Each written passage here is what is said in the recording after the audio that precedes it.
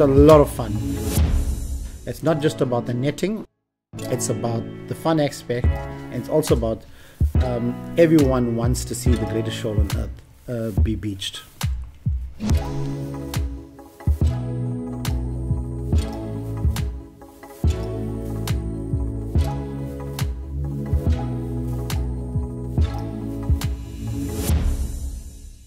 How's it, uh, guys? Yeah, we're here at uh, Sezela uh, in the midst in the midst of the sardine run.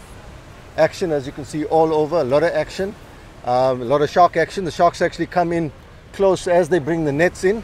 Uh, all that oil and all that dead fish that comes off the nets, uh, it actually attracts the sharks, and the sharks come right within casting distance. All these big 200 kilo sharks. I'm gonna throw a bait just in this trough here. I'm just gonna use a normal trace. It's a full metal jacket, a 12 tuna uh, demon circle hook, Mustad demon circle, 200 pound steel, full length, uh, about a one and a half meter, and I'm using a 220 pound leader. So I'm just going to show you how I make the bait. It's just going to be a bloody sardine bomb bait. Basically, it's about a couple of sardines just wrapped together on this piece of wire. Basically, this is known as a dingle dangle. This piece of wire. So we're going to tie our bait around it like that and then we're gonna hook our our, our, our sinker or, or weight or lead on that. So basically you're gonna you're gonna get something like this. Like this. So when you throw your bait it's a streamline action so everything just goes as one. And when it hits the water that clips off and then your bait's free. So it's basically a device it's just we use for to get maximum distance on your cast. So so yeah, this is basically what I'm to do. Straightforward, nothing fancy. I'm just to hook a sardine behind there as a base.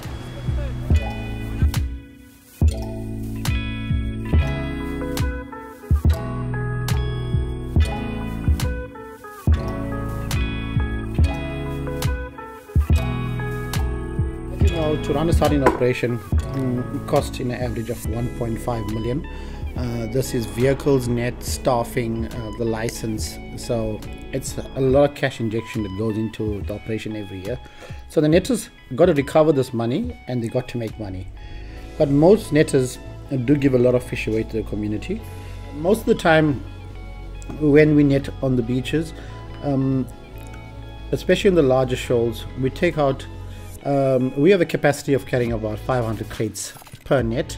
So we take out the five, four, 500 crates. Any extra there, we open it up to the public. Today I am with Rani from Baked with Love. Uh, she's here in uh, Amanzimtoti. I've actually met up with her a while back where I've sampled some of her cooking and she made an awesome, awesome, awesome divine prawn bunny chow. So I've approached her again since I was down here on the uh, 2020 sardine run. Thank you Rani for having me and I'm sure you, you're going to make a killer, awesome uh, prawn bunny and show the viewers out there. And uh, I'll get to sample it, not y'all. Okay, Anand, let's go make our prawn bunny. Yeah, 100%. I can't wait.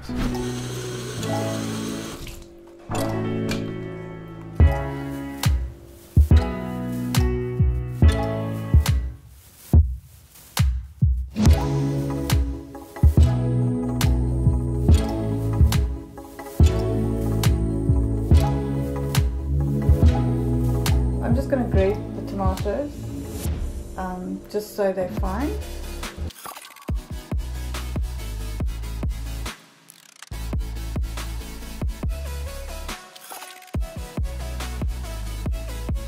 We're going to lightly fry our um, onion, chili, curry leaf um, in oil until lightly brown.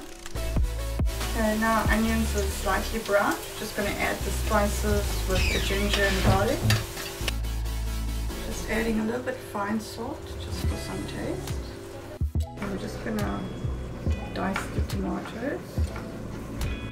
Just one finely cut chili.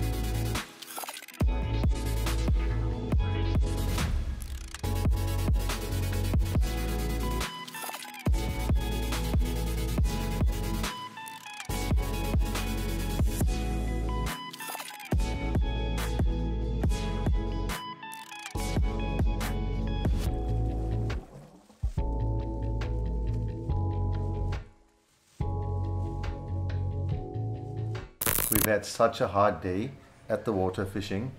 Uh, now to come to this, guys. Yeah, I'm speechless. Lovely prawn bunny. Like, subscribe, share in any which order you want to, but please check out our uh, Catch Cook uh, YouTube channel and uh, Facebook. Check out our cool merchandise, and uh, yeah, there's a lot of other giveaways, weekly giveaways also. So, in saying that, I'm going to love and leave you. Uh, I'm going to be tackling this awesome, awesome, awesome bunny chow. Guys, before it gets too cold, I'm going to go for it. Mm.